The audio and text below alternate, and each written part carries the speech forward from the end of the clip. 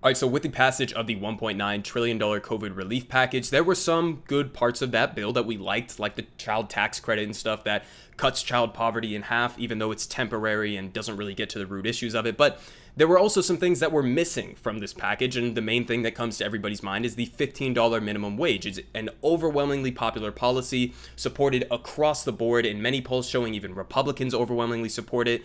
Um, but yet it was taken out of this package, and it was taken out of the package because Joe Biden and Kamala Harris basically used the Senate parliamentarian, who nobody had even fucking heard of until uh, this came up, um, but used the Senate parliamentarian as a scapegoat for them not wanting to fight for the $15 minimum wage. Um, the Senate parliamentarian essentially said, well, this isn't pertinent to the process of budget reconciliation, so I don't think it can be included. Their opinion is entirely irrelevant, by the way. Kamala Harris, as the president of the Senate, uh, had the ability to completely steamroll past the Senate parliamentarian, but simply chose not to. They prioritized this archaic ruling of the parliamentarian over uh, getting rid of starvation wages in this country because that's what they are. That's what the minimum wage is now.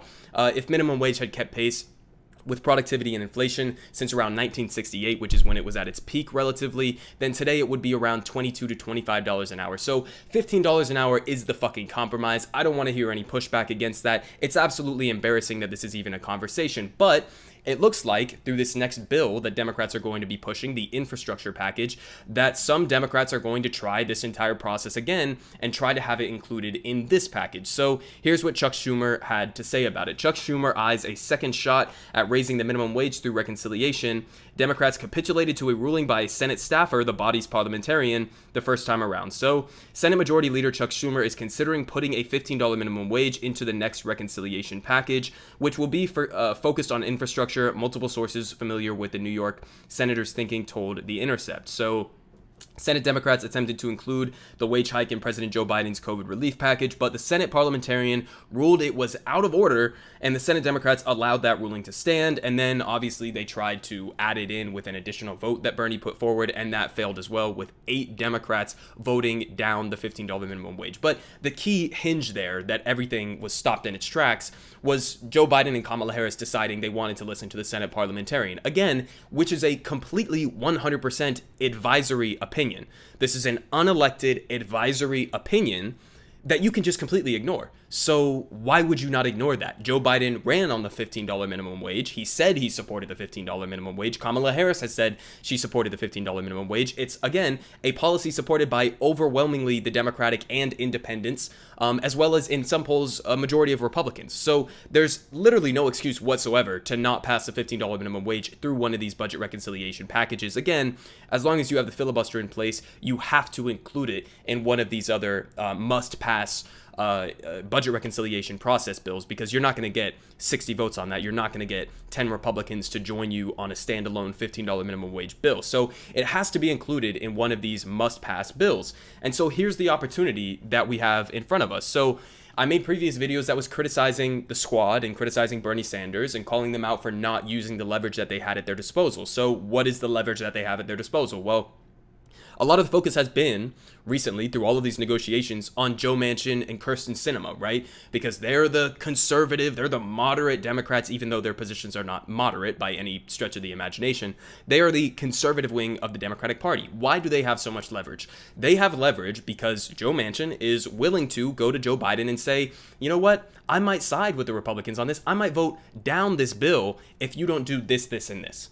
And it is that threat of Joe Manchin not supporting a must pass bill. And when I say must pass, I mean this is a key tenant part of Joe Biden's uh, his uh, strategy for you know producing his presidency and his legacy and actually moving forward with le- legislation. He has to pass, just like he had to pass the COVID relief package. He has to pass this next infrastructure package. So there is an enormous amount of leverage that can be wielded by anybody who is in the same position as Joe Manchin. So Bernie Sanders, for example, just like Joe Manchin is one senator who could block this entire thing from happening through the process of budget reconciliation, Bernie Sanders could also, in the exact same way, block the bill from happening entirely. So the key difference here is obviously that leftist politicians tend to, you know, weigh some of the more positive things in these bills and say, well, do I really want to take this fight? Do I really want to block all of this other relief from going through just for this other portion of the bill? And the answer to that needs to be yes, you have to be willing to kill the hostage.